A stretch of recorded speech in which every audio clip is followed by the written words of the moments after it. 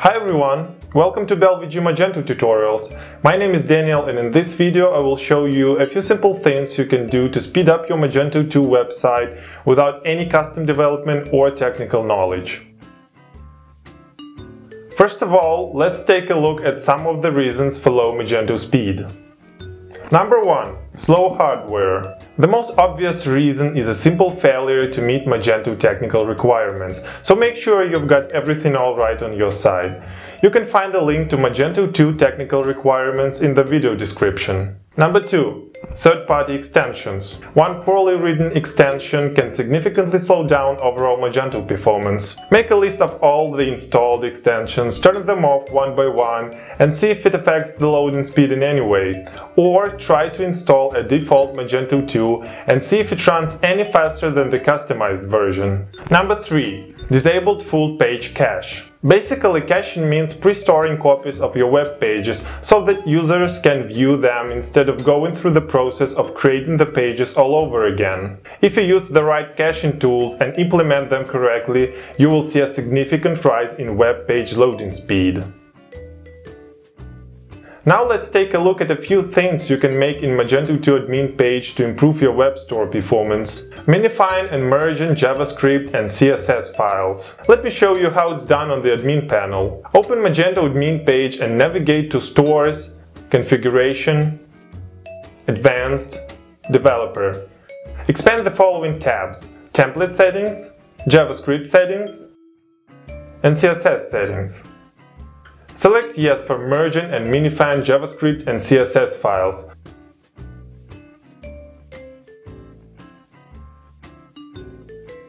Don't forget to click on Save Config when you are done. Enabling Flat Catalog. Using Flat Catalog instead of managing catalog data in many tables by the EAV will help you speed up your product collection. In order to enable Flat Catalog, navigate to Stores, Configuration. Then select Catalog on the left panel under Catalog tab. Expand the storefront section and scroll down to Use Flat Catalog category and Use Flat Catalog product. Select Yes in both fields. As always, remember to refresh the cache once you are done. Using Varnish Cache.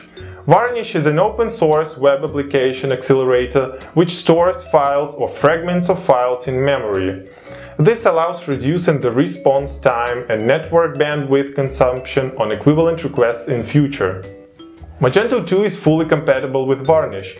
Moreover, Magento strongly recommends using Varnish in Magento DevDocs since it's much faster than the built-in full-page caching.